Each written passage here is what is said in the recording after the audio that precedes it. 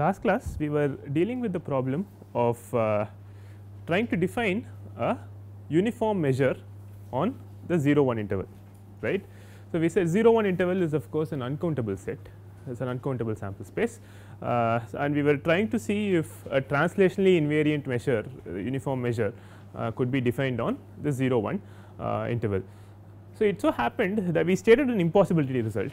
So, we, we said that if you want to define this uniform measure on all subsets of the 0 1 interval try to assign measures for all uniform uh, for all subsets of this uh, 0 1 interval this uniform measure is not possible right. Uh, so, that is the impossibility result we saw we saw.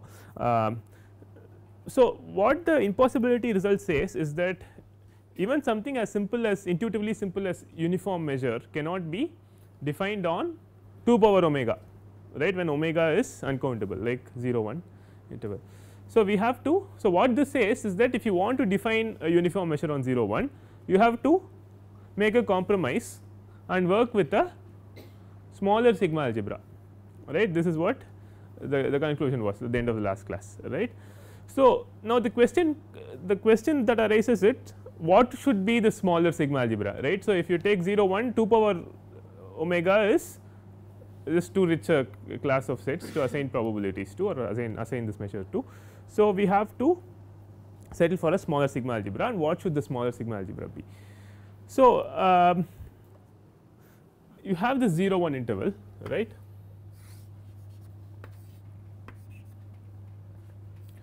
Uh, so, you want to include as your interesting sets sub intervals of this intervals right. So, you want all intervals of the form a b or closed a closed b open here closed here you want those sets to be uh, considered interesting sets right. You want those intervals sub intervals of 0 1 to be in your sigma algebra right but in order to see the subinterval, subinterval the set of all the collection of all subintervals of 0 1 do not make a sigma algebra right. So, if I take an interval like a b the complement is not an interval. Right? For example. So, in order to make this a sigma algebra it has to be closed under complementation and countable unions countable intersection. Right. So, that is what we are building towards. Right? We want a sigma algebra which contains all the intervals and therefore, contains all complements of intervals and countable unions of intervals. Correct? And that sigma algebra we are build, building up towards is called Borel sigma algebra. Okay. Now, but, but we have to do this formally right. So, this is uh, th this is the topic now. Okay. So, this is called generating so ge generated sigma algebras.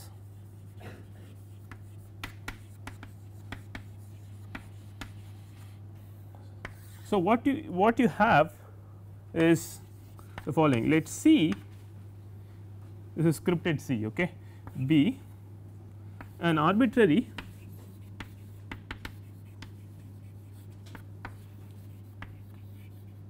collection of subsets of omega. So, you are given some arbitrary collection of subsets of omega okay the scripted C uh, so, this C you should intuitively think of as being your interesting subsets, the subsets you want to keep in your smaller sigma algebra right. So, what you are looking for is you have, you, are, you have decided that this collection C of subsets is interesting to you. For example, in the 0 1 case we said it should be intervals sub intervals of 0 1 right. So, the C is that collection that is that you think is interesting to you. Now, you want to generate a sigma algebra which contains all these C all the elements of C okay but but the C is the C need not be a sigma algebra right? C is just a collection of interesting subsets but you have to make a sigma algebra from it right? You have to generate a sigma algebra from it. And what you want to do is you want to generate the smallest sigma algebra right? The simplest sigma algebra in some sense that contains all elements of C. That is your task. Okay? Is it clear what we are trying to do. So, in the case of intervals sub intervals of 0 1 you want to look for the smallest sigma algebra that contains all intervals. Okay. So, okay, so let us keep it more abstract at this point. Let us see let omega be some sample space and C is some arbitrary collection of subsets. Okay? And you want to define the smallest sigma algebra that contains all subsets in C. Right. Okay, so, there is a theorem that I am going to state. It is a very simple theorem. Uh, it says that there exists a unique sigma algebra which which is the smallest sigma algebra that contains C okay. This is actually a fairly straightforward result.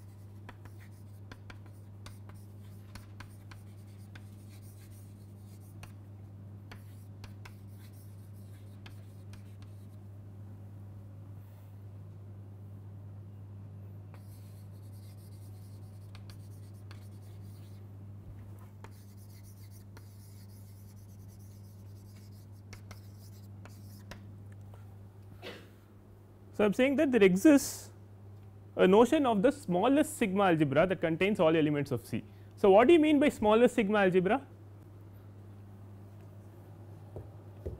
So, you understand see you understand the C is some collection of subsets I am looking for some sigma algebra that contains all these subsets okay but I want the smallest such sigma algebra and I am saying such a sigma algebra exists right yes subset be seen as a elementary event in the regular sigma? No, the C is any collection of see C is some arbitrary collection of subsets of omega and intuitively you should think of them as interesting subsets that is all. Okay, there see C is a, C is scripted you see it is not a set it is not a subset of omega it is a collection of subsets of omega. Okay.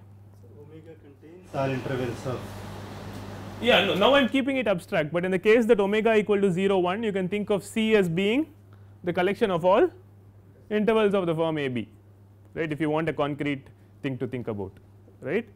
So, I am saying that there exists a smallest sigma algebra containing the C. Now, what do I mean by smallest sigma algebra? Containing all elements of C. Hmm? Containing all elements of C. It contains all elements of C and it is a sigma algebra okay that much is fine, but what is the smallest sigma algebra?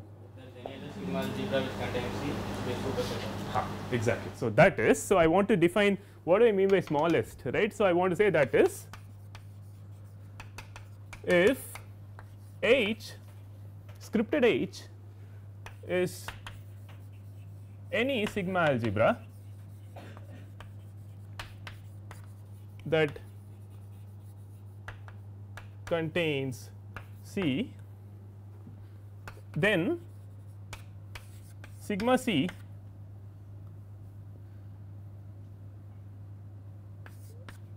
is contained in H.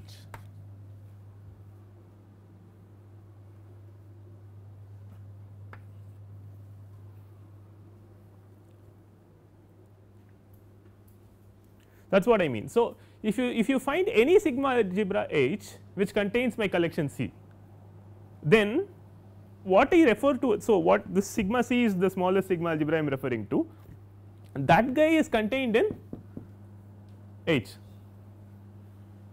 okay in that sense it is the smallest sigma algebra containing C. I still have to prove it of course right it is actually a very simple proof. So, is the statement clear and the sigma c is called. So, this is terminology again uh, sigma c is called the sigma algebra generated by C. Okay.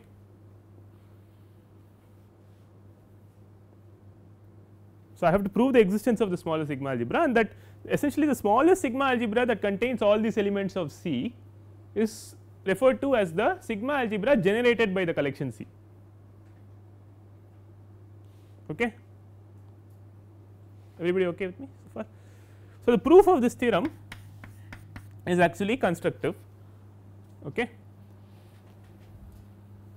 So, what do you do? So, you have you are given some collection C right and you are looking for the smallest sigma algebra containing this collection C right. So, what you do? So, the first thing you will do is go and find all sigma algebras that contain C. See on omega there are many sigma algebras right one such sigma algebra is 2 power omega, but there may be other sigma algebras that contain C right you go and find all such sigma algebras there may be an infinity of them there may be in fact an uncountable infinity of them right, but you go and find them all right. Let f i i belongs to i be the collection of all sigma algebras that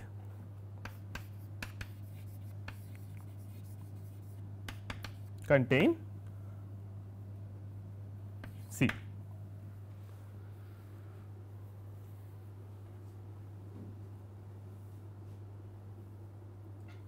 Okay. You go and collect all sigma algebras that contain C.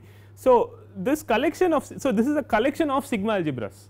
Sigma algebras are themselves collections of subsets right and this is a collection of sigma algebras all of which contain C which is the collection of interesting uh, subsets right.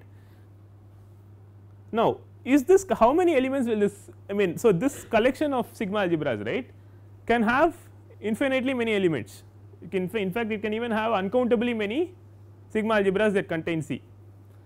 Can it be empty? Why? Sorry, say Power set will be there. Yes, yes, yes. So this collection certainly contains 2 power omega. Right, this collection of sigma algebras that contains C definitely has 2 power omega in it. There may be other sigma algebras, there may not be other sigma algebras, but certainly this collection is not empty right. This collection contains 2 power omega and is thus non empty.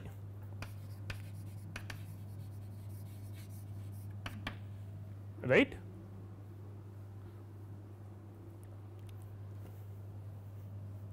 So, the claim is that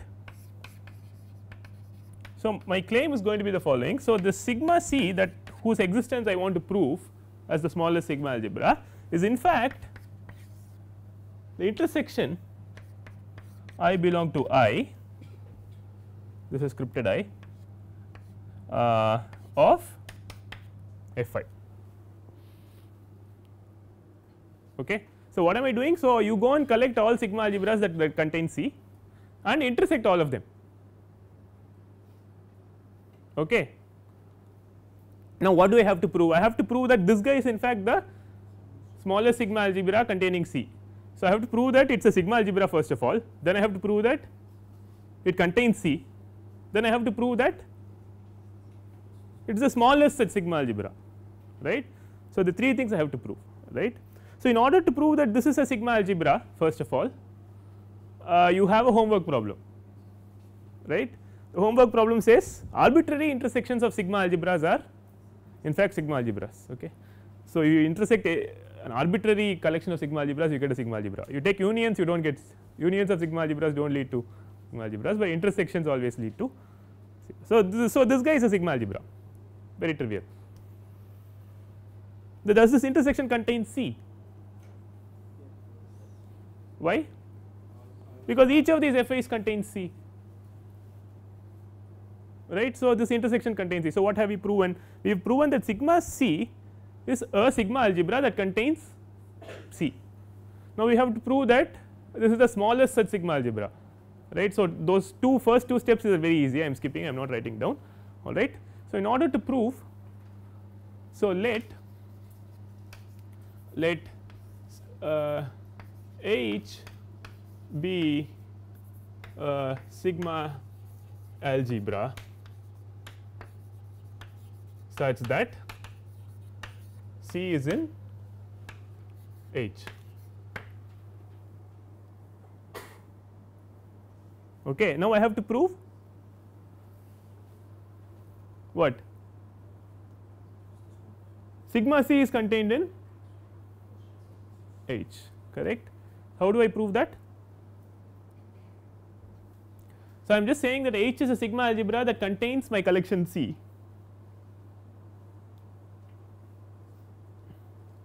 right. So, which means H must be one of these FIs right. So, FI is what this, these guy this collection of sigma algebra contains all sigma algebras that contain C. So, H must be one of the FIs right clearly uh, H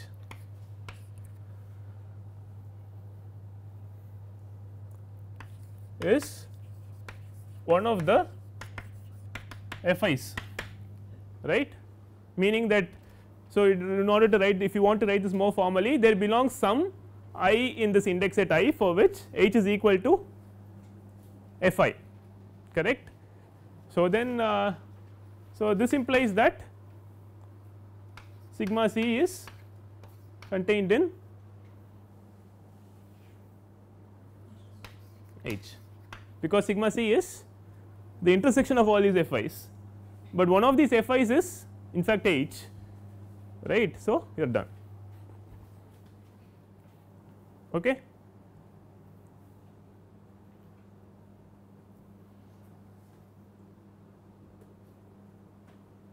Any questions so far? So, as an existence theorem right. So, given any collection of subsets of omega you can find the smallest sigma algebra that contains this collection right. So, the smallest sigma algebra I want to point out that the smallest sigma algebra that contains this collection uh, could be 2 power omega itself or could be some smaller sigma algebra right, but it is definitely well defined right. So, it could so happen that the only collection only sigma algebra that contains C could be 2 power omega in which case bad luck right in which case the smallest sigma algebra that contains your C is only 2 power omega right, but it could be smaller there may be other sigma algebras that contain it right. So, the sigma algebra the sigma C is well defined okay as the smallest sigma algebra that contains my collection C okay. If it has to be sigma algebra, it has to contain C, right? No, So- C uh, no sorry uh, C is some collection of subsets right. So, what is your question? My question is all FIs Huh. must contain C for them to be sigma algebra. No, no, no, that is not what I am saying. FIs are those sigma algebras which contain C. There may be other sigma algebras that do not contain C.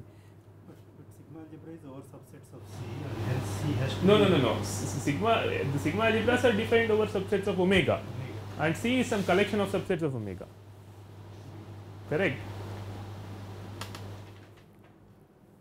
Okay, so far. So in order to prove that the set is the smallest, we should show that there cannot be any subset containing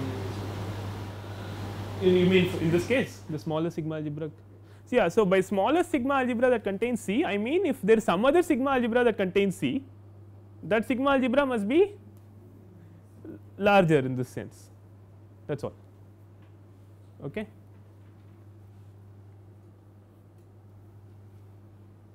Any other questions?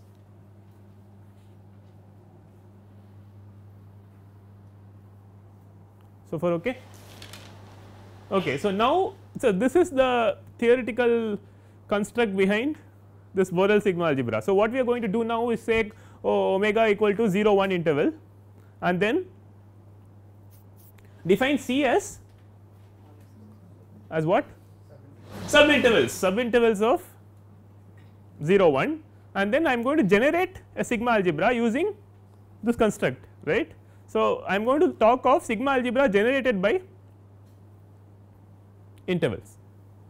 Okay in fact so the sigma algebra generated by intervals is your Borel sigma algebra.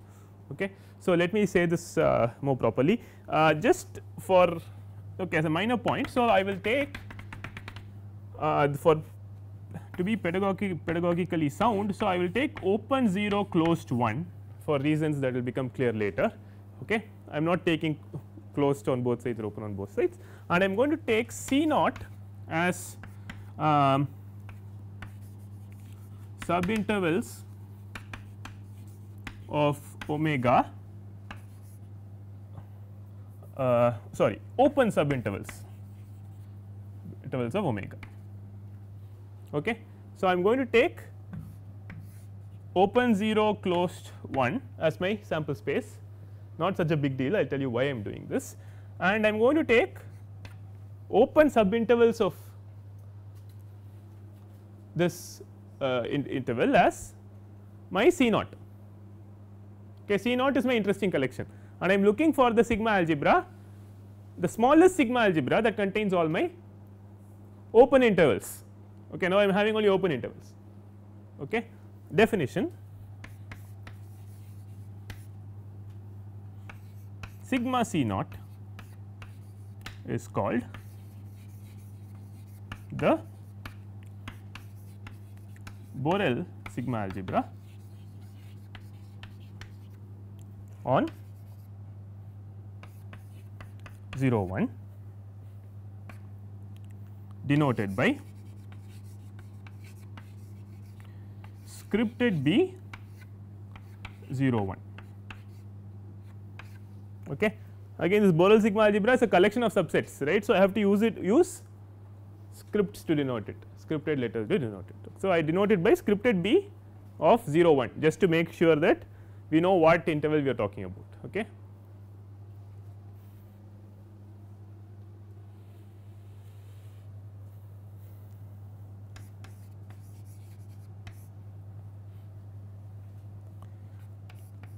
And elements of B 0 1 are called Borel measurable sets.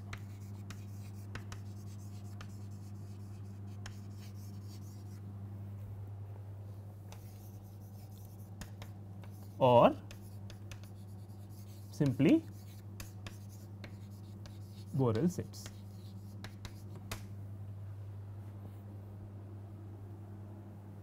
Okay. So, this everybody understands C naught is the collection of all open intervals in 0 1 that is my collections that is like my collection C here and obviously there exists a smallest sigma algebra that contains all my open intervals by that theorem right it is uniquely defined. That sigma algebra is called Borel sigma algebra on 0 1 okay it is a well defined sigma algebra according to this theorem. It is a uniquely defined sigma algebra. Correct. So, this Borel sigma algebra will contain a number of subsets of 0 1 it will definitely contain all the open intervals and it will contain complements and countable unions of these open intervals. Right?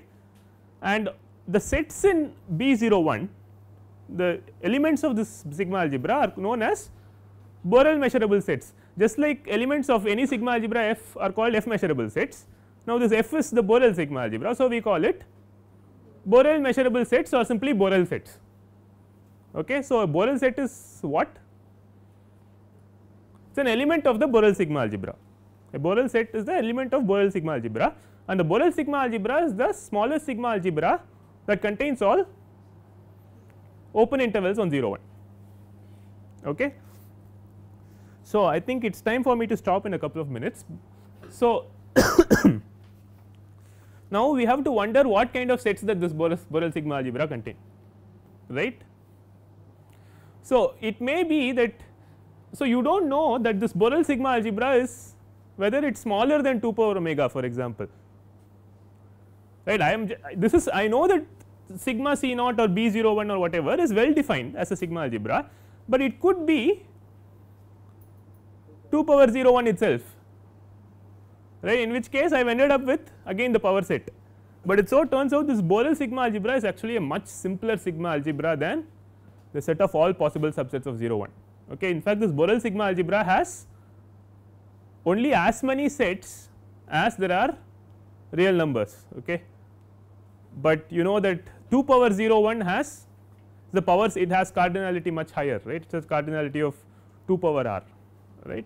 So, this is actually a much smaller sigma algebra than the power set okay that can be shown okay it is a non trivial result, but you can take it from me from for now that the Borel sigma algebra is a much smaller sigma algebra than 2 power omega. But the nice thing is it contains most sets of practical interest. In fact, it contains many sets which which are quite bizarre. This Borel Borel sets can be quite bizarre. Okay, even something like the Cantor set, right, which is this very peculiar set, you know, that is in fact you can show as a Borel set.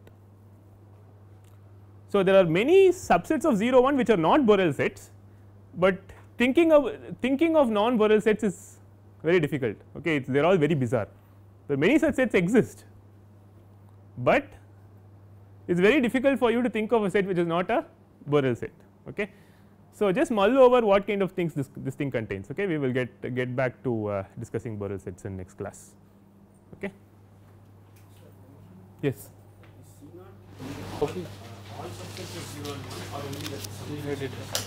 No, the C naught is the set of all open subintervals of omega. All open subintervals of omega, right? So you say all open subintervals. Okay. All sets of the form open interval A B, where A and B are in 0 1. Okay. Any other questions? All right, let's stop here.